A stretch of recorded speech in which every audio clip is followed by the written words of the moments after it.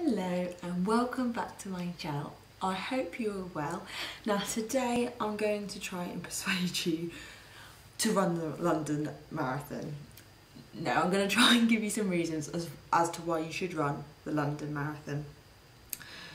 I'm sure, I don't know if you watched it yesterday or maybe you went up with some friends or you had people running it but it is the most incredible experience to run it and watch it.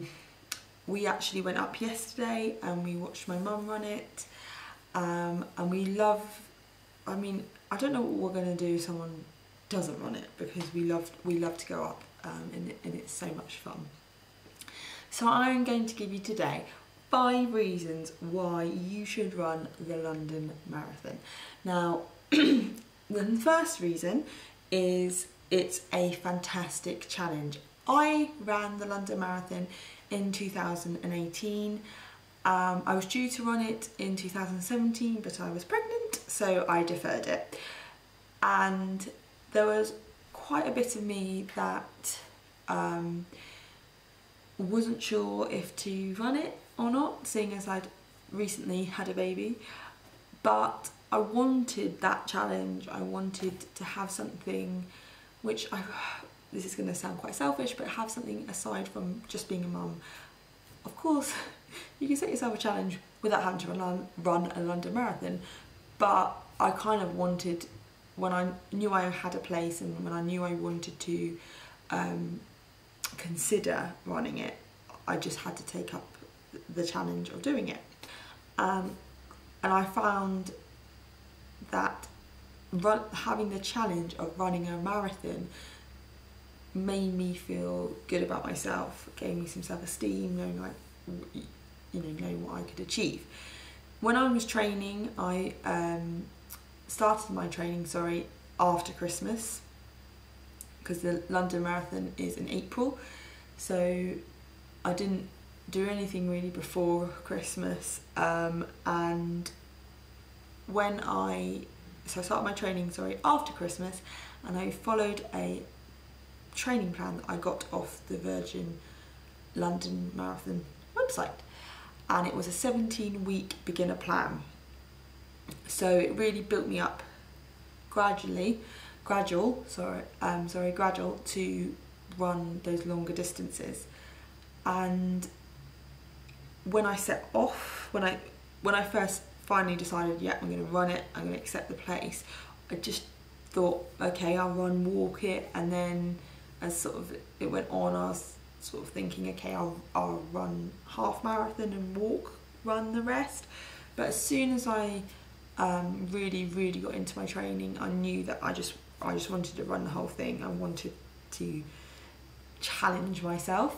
Um, and I think towards the end I ran a couple of 20 milers um, which really set me up well for for the race day yes and it, it, you know I achieved so much more than I thought I would. And I just loved having that challenge especially just after having uh, Alyssa.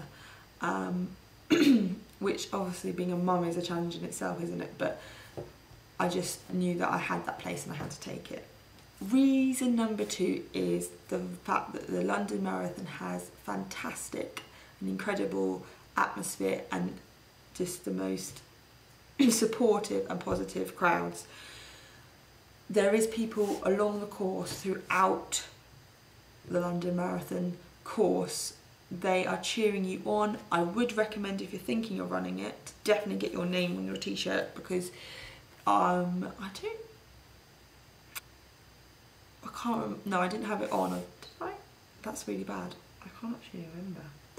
I'm not sure, but you definitely, I definitely heard people's names being called out because they had their names on their t-shirt. And it's just at those times when you are feeling like you just want to give up on on everything um, having your name called out really spurs you on. And it's just such a nice like a community feel it's, you know and also you're running alongside people as well. And it's so much easier than your training was when you were just running on your own.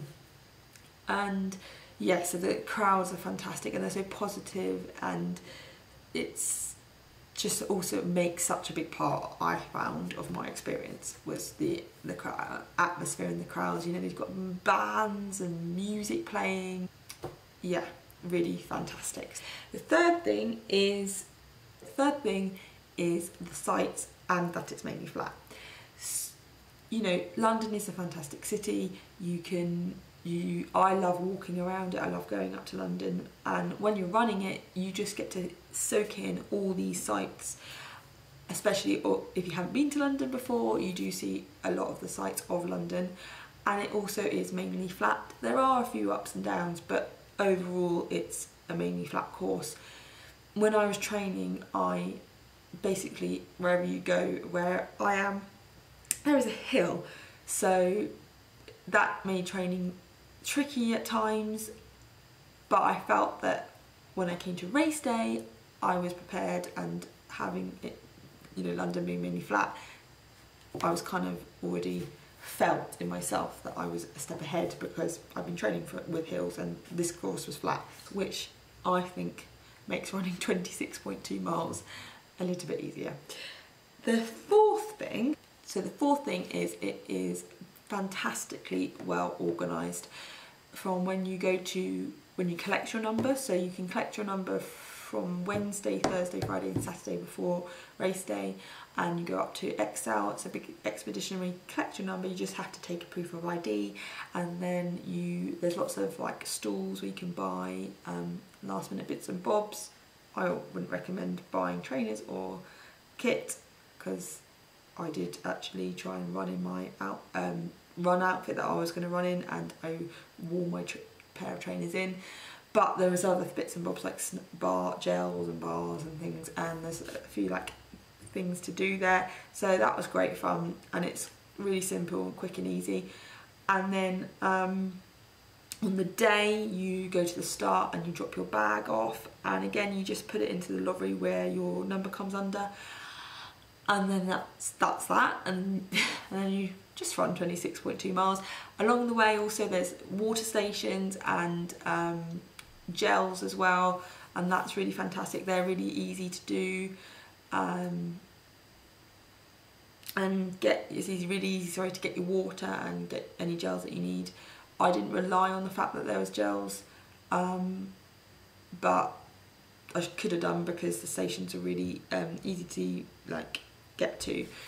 Uh, so yeah, so that's along the course and then when you finish the race there is um, collecting your bag, you literally finish it and then you as you walk to sort of meet friends and family, you're just walking past all the um, bag lorries so you just collect the um, your bag and then meeting friends and family you just go to um, the first letter of your surname and they should be there. So it, it's just so well organised and so simple and quick and that takes any pressure off and you can then just concentrate on actually running.